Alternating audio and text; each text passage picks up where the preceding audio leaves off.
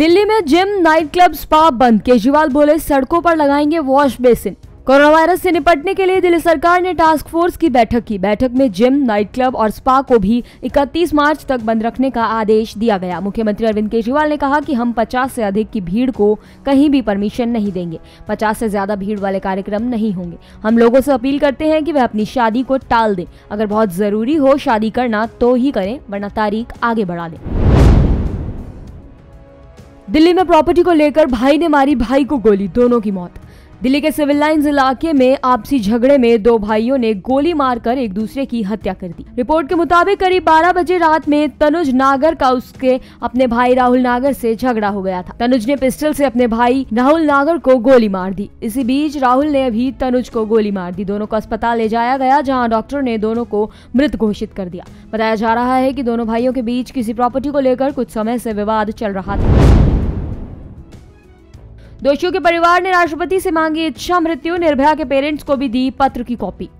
निर्भया मामले में चारों दोषियों के स्वजनों ने वकील एपी सिंह के ज़रिए राष्ट्रपति को पत्र भेजकर इच्छा, मृत्यु की इजाज़त मांगी है। पत्र में उन्होंने कहा है कि उनकी आर्थिक स्थिति ठीक नहीं है। ऐसे में दोषियों को फांसी होने के बाद उनके जीने का कोई मतलब नहीं है। इस मांग पत्र की कॉपी दोषियों की ओर से निर्भया के माता पिता को भेज दी गई।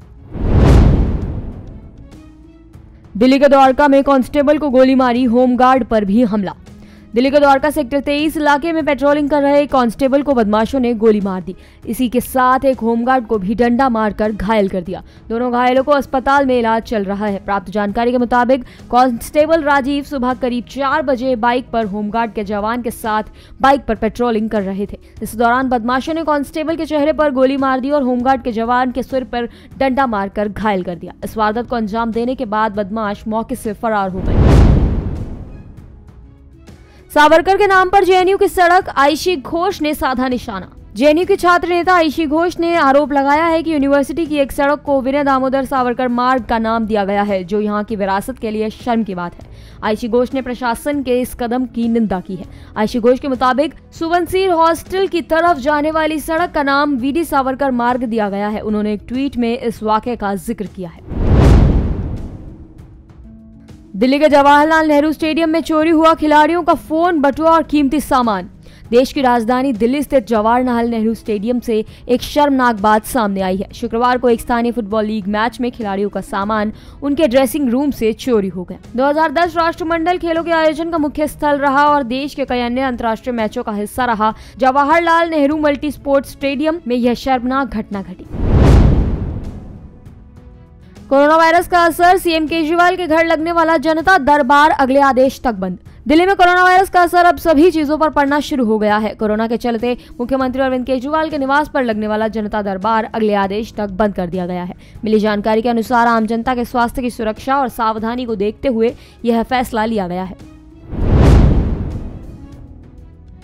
कोरोना वायरस के बढ़ते मामले को देखते हुए सुप्रीम कोर्ट में शाहीन बाग के प्रदर्शन को खत्म करने की मांग की गई है। इस बाबत बीजेपी नेता नंद किशोर गर्ग ने सुप्रीम कोर्ट में अर्जी दाखिल करके शाहीन बाग प्रदर्शन को खत्म करने का आदेश जारी करने की मांग। स्कूल, कॉलेज, मॉल और सिनेमाघर सब बंद है। ऐसे में धरने को कैसे इजाज़त दी जा सकती है? अगर ऐसा कोई भी प्रदर्शन देश के किसी भी हिस्से में होता है तो उस पर रोक लगाई जाए। कोरोना के खिलाफ दिल्ली में मुहिम तेज, आईएसबीटी पर लगेंगे वॉशिंग डिस्पेंसर। कोरोना वायरस के कहर को देखते हुए राजधानी दिल्ली में इसके खिलाफ मुहिम तेज हो गई है। वायरस के संक्रमण को रोकने के लिए दिल्ली की डीटीसी और क्लस्टर बसों में ही नहीं, बल्कि राजधानी के आईएसबीटी टर्मिनल पर आने वाली सभी बसों के अंदर केमिकल का छिड़काव किया जा रहा है। सिविल लाइन्स के आईएसबीटी टर्मिनल पर दिल्ली में दूसरे राज्यों से आने वाली बसों के अंदर स्प्रे कर वायरस के संक्रमण को रोकने की तैयारी की जा रही है। अनाधिकृत कॉलोनियों में रहने वाले लोगों का 15 साल का हाउस टैक्स होगा माफ़।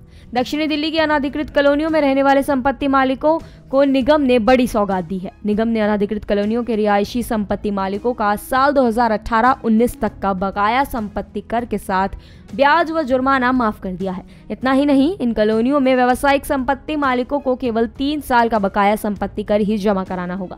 इकतीस मार्च तक यह संपत्ति कर जमा कराने पर ही लोगों को इस योजना का लाभ मिलेगा। हालाँकि जो लोग इकतीस तक जमा नहीं करा पाएँगे, उनसे ब्याज व जुर्माने के साथ संपत्ति कर वसूला जाएगा।